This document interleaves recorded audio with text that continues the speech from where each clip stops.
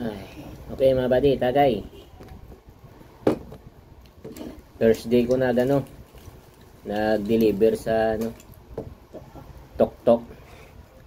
Da kumita naman. 500 plus mga buddy kasi malinis na yon. So ibawas ko na lang siguro doon yung 50 pesos sa panggasolina. Okay na. May pang red doors na. Red doors muna tayo mga buddy. Kakasawa na rin sa hard eh.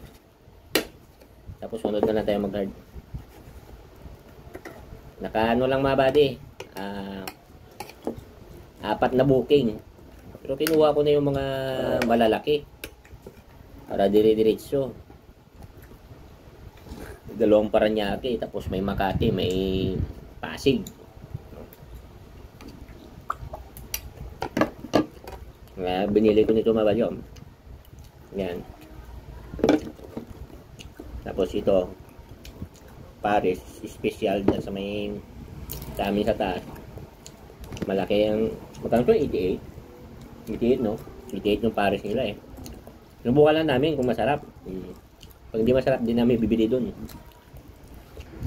Tapos to, doors, mabali. Hmm. Konting crispy pata. Okay na.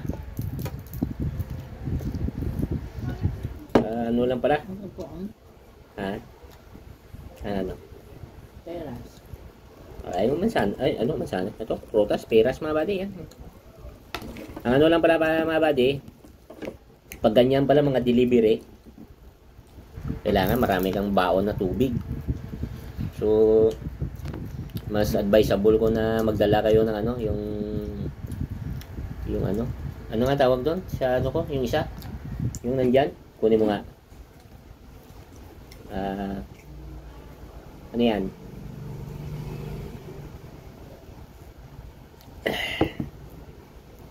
Chug. Ano nga to? Water chug. Hindi, cooler ito eh. Ano to? Hot and cold. I- ito kasi mga buddy, ito dala ko hot and cold cooler. So, pag nilagyan ko ito mga buddy ng ano, ng yelo dito, tapos lagyan ko ng tubig, maghapon na yan, may meron kang malamig mula umaga hanggang hapon. Lagyan, lagyan mo lang ng pag naubos. Pero actually, hindi mo naman kagad maubos yung tubig eh. Pagka naubos mo yung tubig, eh, kargahan mo lang. Pare, daan ka dun sa Jollibee o sa kahit anong mga ano dyan, mga fast food chain, hingi ka ng tubig, o, lagyan mo ulit. Yun kasi kailangan mo ng tubig talaga sa mga biyahe dahil mainit. Pero maganda rin magbiyahe ng gabi sa mga delivery. Saka siyempre medyo ingat kasi pag gabi, talagang mahirap yung ano, yung lalo sa akin, medyo malabo na yung mata ko sa pagdadrive eh, pag gabi. Kasi itong mata ko, medyo may diferensya na kasi yung mga body kasi nung high school pa lang ako, nagwi-welding na ako. Kaya parang ang sabi ng doktor sa akin, kaya pagka konting dapya lang ng ano, ng hangin or konting alikabok sa mata ko, masakit na kasi parang nagnipis daw yung ano ko, yung ano sa mata natin. Kaya nagiging sensitive. Retina. Ano yan, retina? Oo, yun. Yun mga buddy. Kasi pag nga nag-welding ako noon, hindi ako gumagamit ng mask eh. Hindi ako gumagamit talaga ng mask. Kaya yung bag ko, lagi ako may dala na mo dyan, na red, saka blue. Naubos na nga yung pang-itchy ko eh. Dapat bil bilang mo ako ng pang-itchy. Ano, kasi kung minsan kumakati itong mata ko. Yan ang diferensya mga buddy. So sa mga kapwa ko rider, mga delivery, kasi nasubukan ko ng delivery, puro malalayo talaga kinuha ko para malalakihan na. Bili kayo ng ganito, ito. Ang bili ko nito sa Lazada, magkano ba to? 1.5. 1.8. 1.8 ito mga buddy, 2.5 liters ito. Ito. Mula umaga hanggang hapon, may malamig ka na tubig. Lagyan mo lang ng yelo kung gusto mo. malibig ko na Yan. Oo. Pero ito, na-test ko na ito nung sa ano ako buddy, sa doon kasi ako sa area, solo-solo. Pagka nag-booming kami. Nung una, ang kinakarga ko dito is ah, mainit na tubig. Mainit na tubig. Kasi pagdating ko sa area, may dala ko na skyflakes, mga biscuit, tinapay, tapos may bawon akong cup noodles. Mainit na tubig ang nilalagay ko dito buddy. Pagdating sa area, lagay ko ng tubig doon. Tataka sila, bakit may may ano ako, may mainit ako ng tubig, saan ako kumukuha? Ito yung dala ko mga buddy, yan. Mainit na tubig ang, ang nilalagay ko nito, yan.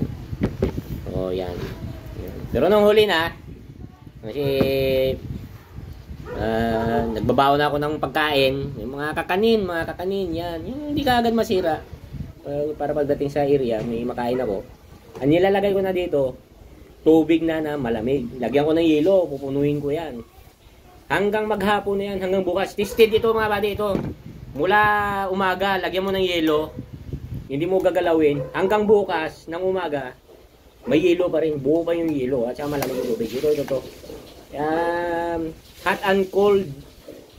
Ito eh, yung body. Basta hot and cold tumbler yata. Basta sa Lazada ito nabili. Yan. Pero matagal lang ito na order kasi umabot ito ng mga dalawang linggo bago dumating. Ito, ito, ito. Yan. Order nila ito. Yan.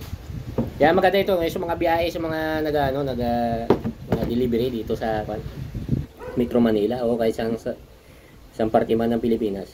Yan importante may baon nga talaga tubig para hindi ka may stroke lalo na may init. Pabago-bago pa noon. Yan, yan. yan. Mabaho ngayon ito. Yan. O, naka 500 plus ako mga buddy sa tuktok. O, yan. Sa mga gusto mag-tuktok rider, ah, PM nyo na lang si Kwan. Kung mag-comment kayo doon sa post ko, itatag ko na lang si Mrs. Ah, kayo na lang bahalang mag-usap. Yan. Eh, requirements lang naman. Ano lang naman eh. Ah, pinaka ano talaga na requirements yung ano yung NBI clearance yun pwede kayong magpa-schedule sa online mga buddy sa NBI clearance makukuha nyo ka ay ano schedule kayo schedule kayo punta kayo sa United Mission doon sa pinaka head office nila makakuha kayo nun kasi yan kasi importante na kung ano requirement tapos ah, dapat ah, professional driver's license yun Saka siyempre yung ano diyan, yung ah, ORCR ng motor mo. Basta apat lang naman yun. Nandun naman yun sa mga pinopost ko mga bani. So dagdag income naman yun. Eh, kung meron naman kayong ibang trabaho, pang ano yun na lang, pang sideline. Wala kayong ginagawa, Sabado, Linggo, weekend. Pwede kang tumira ng ah, tatlo, apat na biyahe sa umaga, tapos tira, tapos tulog-tulog ka na pagdating mo sa bahay. Tapos bira ka naman ng hapon. Kasi kanina, lumabas ako mga buddy, alas 4 na. Alas 4 ng hapon. Unang booking namin, natagalan talaga kami kasi parang nag-aagawan sa booking. Pero okay lang man din. Nung nakakuha ko, ang maganda kasi mga buddy, hindi kanya nilalayo. Ang ilalagay sa iyo nga booking, yung malapit mo lang pipikapin.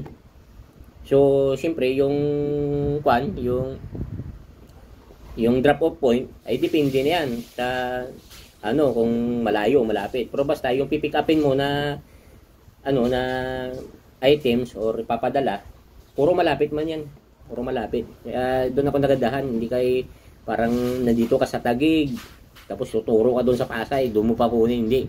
Sa Tagig mo lang din kukunin. Kaya maganda. Hindi kanya ilalayo. So hindi lugi. Kasi pagbalik mo na naman ah pili ka na naman ng booking mo na ano, kung may papasok. Eh, depende naman sa'yo kung si, anong piliin mo dyan na booking, kung malayo, malapit. Yung pabor sa'yo ah. Ngayon, kung doon sa area na yon parang hirap yung booking, ang ginagawa ko, lipat lang ako ng ano, ng area. Labas lang ako doon ng subdivision. Nasa loob kasi hindi subdivision yung deliveran namin mga buddy. eh. Sa Las Piñas, unang deliver. Labas ako, doon ako sa may highway. Yun. Dandahan lang ako. May may nag-pop up. O, deliver na naman sa Paranaque. O, dinidiretso tuloy-tuloy. O. Yun nga lang, habaan nyo lang yung pasensya nyo kasi ganun talaga. Eh, may merong may matraffic, may mga ano. So, makukuha yun naman mga diskarte dyan. Kung paano ang pag, uh, pan. Kasi pag, uh, nakuha nyo ng yun. Pwede na kayo mamili ng mga gusto nyo deliveran na area eh. Depende sa time eh. Pero pag gabi talaga, walang problema, mabadi kasi walang traffic. Walang traffic. Nga lang, yung sa akin, mata ko yung problema. Sumasakit yung mata ko pag gabi. Hmm, Tagay mabadi. Ay, may laman pa pala to. No. Nakain ko na to.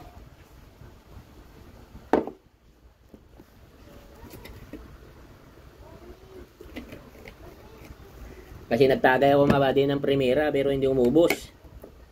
Kaya nag-redoors ako. Yan. Sabi ko, misis, redoors na.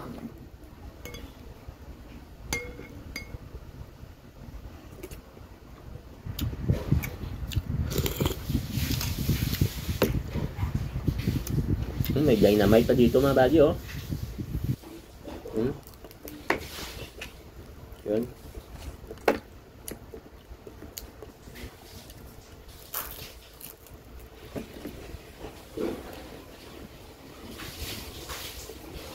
Pagka ano ka pala, mag, kasi pagka pala talaga dyan sa one, mga delivery niyan, isang araw talaga, baka ano ka, isang libo o mahigit. Kasi sa akin, apat lang na-deliver, 500 plus eh. Alas 4 ako lumabas, umuwi ako ng alas 9. Hmm. So, kaso lang, nung pauwi na ako, galing ako ng Ortigas, meron pa sana isa. Pero hindi ko na, ano, hindi ko na inaccept yung delivery na yun, yung booking na yun. Sabi ko, uwi na lang kami. Sabi, misis, uwi na tayo. Okay na to.